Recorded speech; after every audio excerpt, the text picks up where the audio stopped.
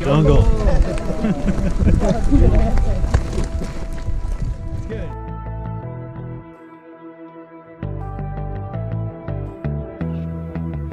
Today we are conducting a land navigation course along with a high frequency communications class with FOOM and some patrols and some other battle drills that we're conducting at the end of the day.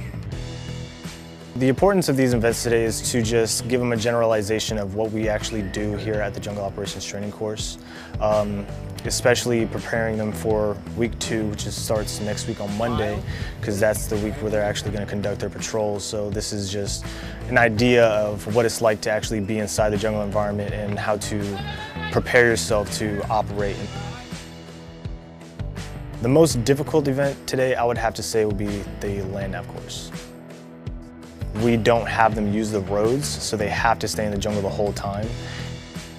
Very hard to make your way through and very easy to kind of slip and fall.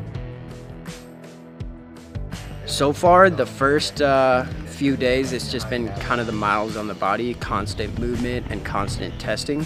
So it's definitely mentally and physically challenging. Uh, we've been continually pressed with, you know, a test every single day for the first three days. Uh, so it's you either pass the test or you know, you're out of here. So it's been just constant tests back and forth and a lot of time on our feet. So it's been uh, it's been pretty challenging and I could already feel the fatigue setting in and we're just getting started.